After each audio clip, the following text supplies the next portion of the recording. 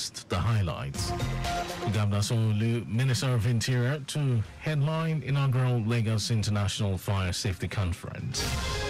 ASUU appeals to federal government to save public universities from total collapse, threatens another strike. The in Russia launches massive attack on Ukrainian power grid. And in sports, CAF gives new update on 2025 Africa Cup of Nations. And now the details. I am Mike James.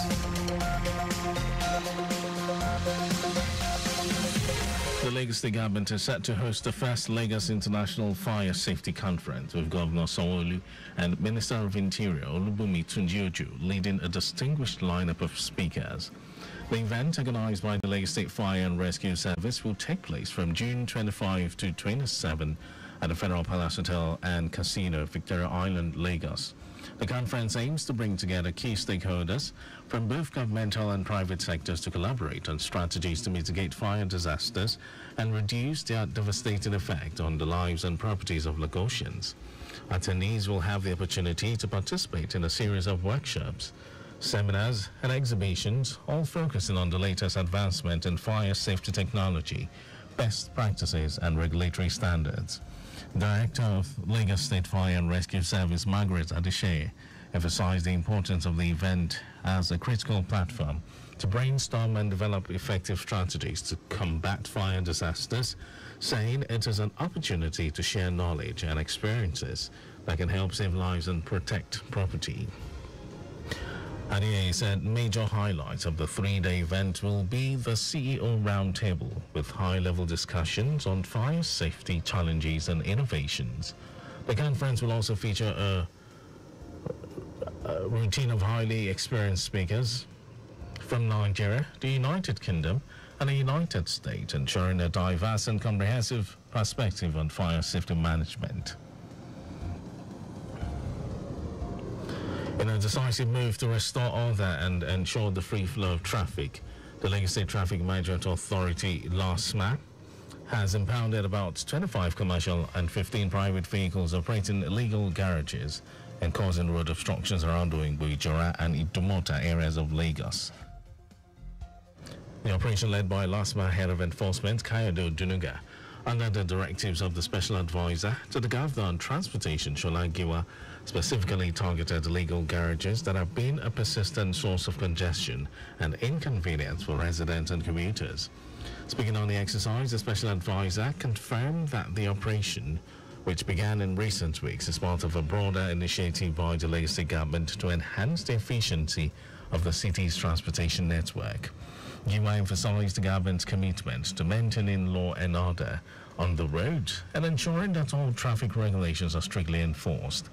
The special advisor also implored motorists to take ownership of the roads and to promptly inform LASTMA of any broken down or abandoned trailers or trucks via the agency's hotline 081 0056 5860 and 081 2992 8503.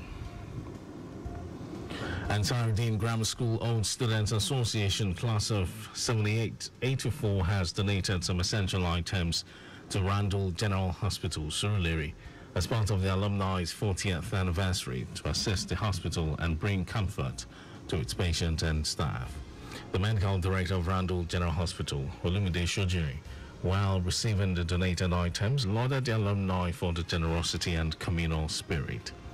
Surgery listed the donated items as two infrared thermometers, two Apex blood pressure monitors, two manual digital three sphygmomanometers, one weighing scale and height meter, and one public address system, calling on other humanitarian and philanthropist-minded persons or groups to emulate the kind gesture.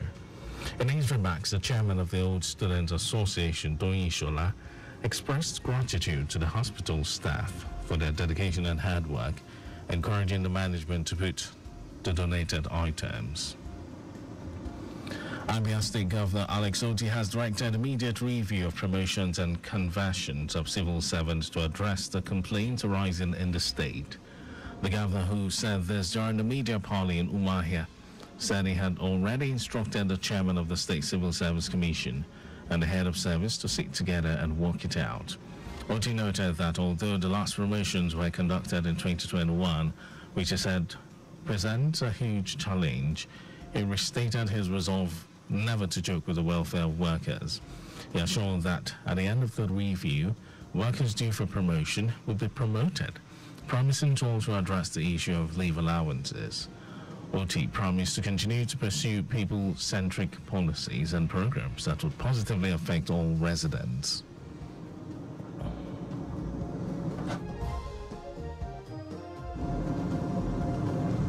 And now to the rest of the stories. The Academic Staff Union of Universities also has appealed to President Bola Tinubu to sign and implement the renegotiated 2009 ASUU FGN agreement in line with the collective bargaining principles as enshrined in, in the International Labour Organization Convention. The coordinator of the zone of the union, Adelaja Odukoya, made the appeal while addressing newsmen at the Olabisi Onabanjo University Ago-Iwoye, Ogun State. Also appealed to the president to act accordingly in order to save the nation's public universities from imminent collapse. The union said it would also ensure that the lecturers were not forced into another round table of avoidable industrial action courtesy of the current conditions of service. Odukoya urged the Tinubu-led federal government to, without further delay, set in motion machinery for the quick signing and implementation of the agreement to avoid another round of industrial crisis in the nation's public universities. Former President Olusegun Obasanjo and Governor Hope Uzodinma of Imo State have inaugurated the Owerri Central Market Complex, describing it as a blessing to Imo State and Nigeria. Obasanjo, who arrived in the state to grace the occasion, expressed confidence in the project's potential to attract investors and create jobs, wealth, and development. The former president made remarks during the groundbreaking ceremony of the market project at In the Nekede area. Obasanjo said the Owerri Central Market Complex has been planned to attract businessmen and women from across the country and beyond, and will also create jobs, wealth, harmony, unity, and development for Imo State and Nigeria at large. Further commended the governor for his efforts to develop Imo State and expressed confidence in the project's potential to recoup investment through profit. And over to some foreign news. Ukrainian authorities say seven employees were wounded and energy infrastructure, including a power station, had been damaged in a major overnight attack. Ukraine is buying energy from the European Union, but this is not enough to make up the deficit. It means that most days involve a planned nationwide blackout to protect critical infrastructure such as hospitals and military facilities. President Volodymyr Zelensky has repeatedly called on Ukraine's allies to send more air defense systems and has specifically requested seven sophisticated air defense systems called Patriots from the U.S. Responding, the U.S. National Security Council spokesman John Kirby said Washington would put Ukraine at the top of the queue for Patriots deliveries ahead of other countries that have ordered them. And in sports news, the Confederation of African Football CAF has decided that the 2025 AFCON in Morocco will now be staged from December 21, 2025 to January 18, 2026. Host Mo- Morocco initially proposed the summer of 2025 for the tournament, but this clashes with the newly designed FIFA Club World Cup that will attract 32 clubs from around the world. The draw for the biennial competition will be conducted on July 4 in Johannesburg, South Africa. The qualifiers for the 2025 AFCON will be completed between September and November 2024. And that was our news at 12. But just before we go, ensure the registration mark on your vehicle is clear and visible at all times. You can follow us and like all our various social media platforms X Traffic Radio 961, Facebook Lagos Traffic Radio 96.1 FM, Instagram Lagos Traffic Radio 961. Subscribe and watch our news and programs live on YouTube, Traffic Radio 961. And you can also visit our website, www.trafficradio961.ng. Did you know that the Sanwo-Olu administration supported 152 business and persons in the tech ecosystem under the Lagos Innovative Program. You can always get more details at on the Lagos State Government website and to end the news. Here are the highlights of the major stories.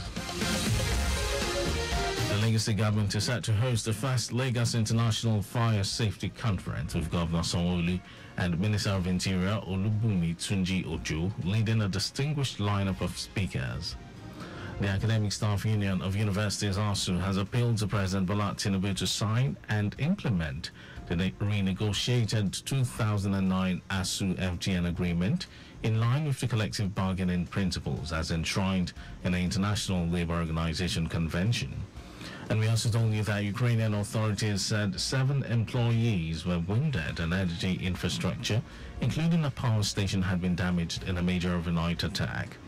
And then in sports news, the Confederation of African Football CAF has decided that the 2025 AFCON in Morocco will now be staged from December 21, 2025 to January 18, 2026. And for contacts with the newsroom, send a message to info at trafficradio961.ng. That ends the news broadcast compiled by Adeswa Ejoyoka. Thank you for listening, Lagos. Beautiful afternoon to you. My name is Mike James.